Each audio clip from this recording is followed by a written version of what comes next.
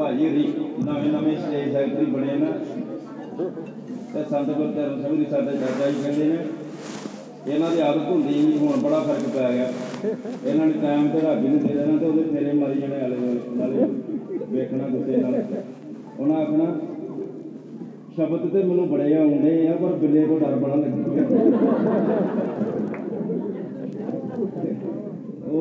ਸਾਡੇ ਰਾਗੀ ਜਿੱਦਾਂ ਦੇ ਹੈਗੇ ਇਹਨਾਂ ਚਲੋ ਸਾਰੀਆਂ ਲੜਦੀਆਂ ਫੌਜਾਂ ਨੇ ਉਹ ਸੂਤਰ ਵੀ ਇਹਨਾਂ ਨੂੰ ਹੁੰਦੇ ਆ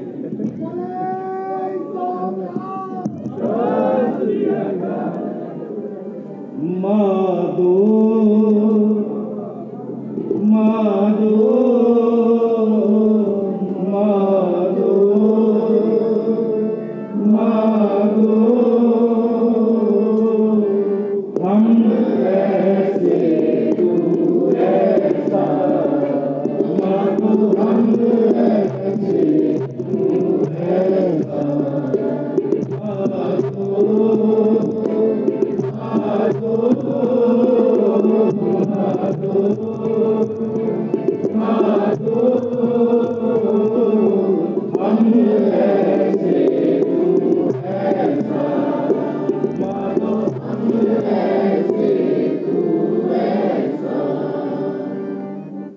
मेदी साहब मेदी साहब की जगह दो जी मारी पहली पासी जी बोल हम पापी तुम पाप खंडन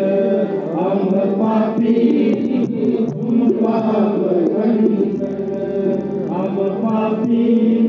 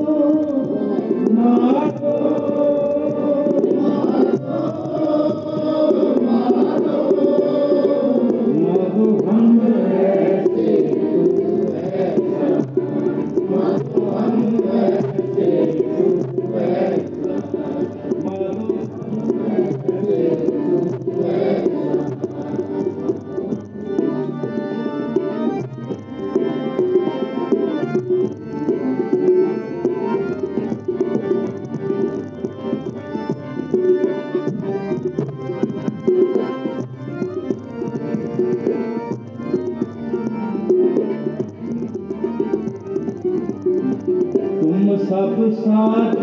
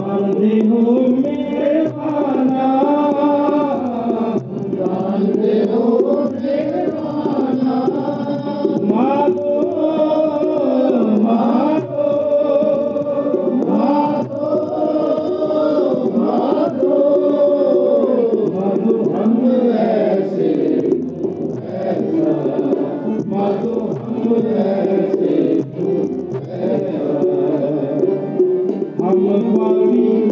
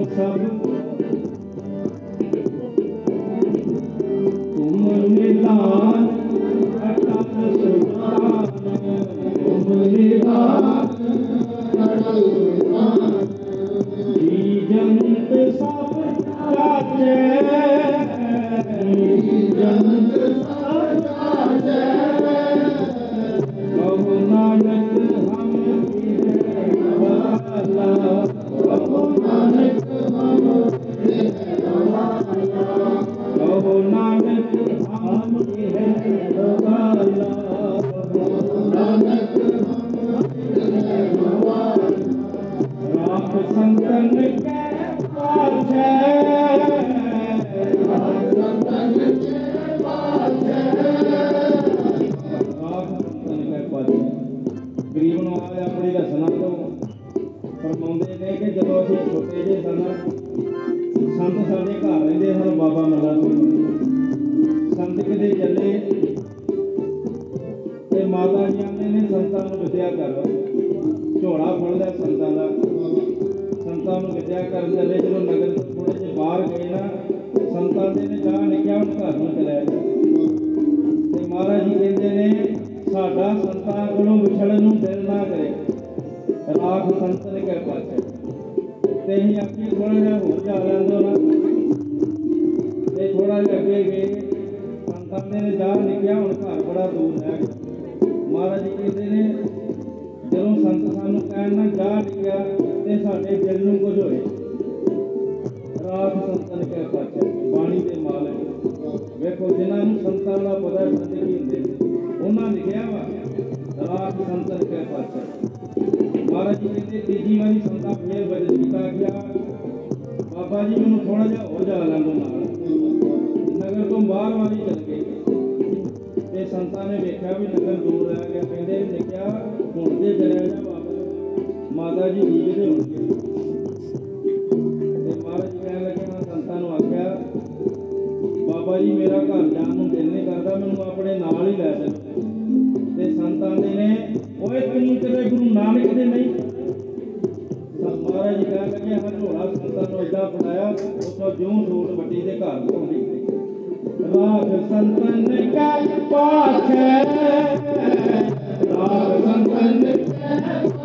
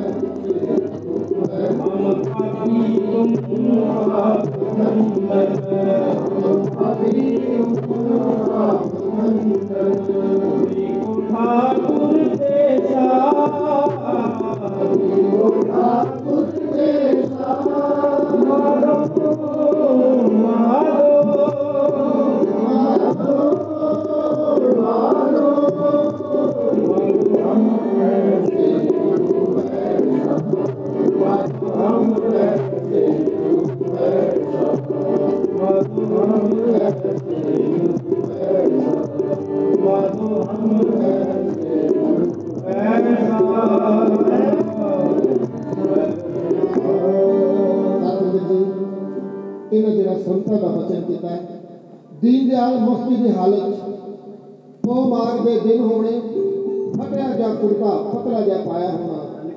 ਤੇ ਦੀਨ ਦਿਆਲ ਦੀਆਂ ਭੈਣਾਂ ਬੜਾ ਫਿਕਰ ਕਰਨਾ ਇੱਕ ਭੈਣ ਨੇ ਬੜਾ ਸੁੰਦਰ ਕੋਟ ਸਵਾਇਆ ਕਿ ਮੇਰਾ ਵੀਰ ਘਰ ਆਏਗਾ ਮੈਂ ਉਹਨੂੰ ਕੋਟ ਪਵਾਵਾਂਗੀ ਸਤਿਗੁਰੂ ਜੀ ਜਦੋਂ ਦੀਨ ਦਿਆਲ ਆਏ ਸੁੰਦਰ ਕੋਟ ਪਵਾਇਆ ਸਾਹਿਬ ਜੀ ਕੋਟ ਪਾ ਕੇ ਤੇਰਾ ਬਾਹਰ ਹੀ ਗਏ ਤੇ ਇੱਕ ਮੰਗਤ ਉਹਨੇ ਵੇਖਿਆ ਬੜਾ ਵੱਡਾ ਬੜਾ ਸੁੰਦਰ ਕੋਟ ਪਾਇਆ ਹੈ ਕਹਿੰਦਾ ਸੰਤ ਜੀ ਇੱਕ ਰੁਪਈਆ ਤੇ ਲਿਆ ਜੇ ਸੱਚ ਮੰਨਦੇ ਹਨ ਸਾਡੀਆਂ ਜੇਬਾਂ ਉਦੋਂ ਖਾਲੀ ਦੀਨ ਦਿਆਲ ਸੁੱਚੀ ਦੇ ਮਾਲਕ ਚੋਜ ਕਰਦੇ ਹਨ ਸਾਹਿਬ ਕਹਿੰਦੇ ਹਨ ਕਿ ਜਿਹੜਾ ਇਹਨੇ ਉਦੋਂ ਆਨੇ ਦੁਆਨੇ ਚੱਲਦੇ ਸਨ ਫਰਮਾਉਂਦੇ ਹਨ ਜਿਹੜਾ ਇਹਨੇ 1 ਰੁਪਈਆ ਮੰਗਿਆ ਨਾ ਕਿ ਸਾਡਾ ਕੋਟ ਵੇਚ ਕੇ ਮੰਗਿਆ ਸਾਹਿਬਾਂ ਨੇ ਕੋਟ ਲਾਇਆ ਤਾਂ ਉਹਨੂੰ ਪਵਾ ਐਸੇ ਦੀਨ ਦਿਆਲ ਐਸੇ ਸਾਡੇ ਦੀਨ ਦਿਆਲ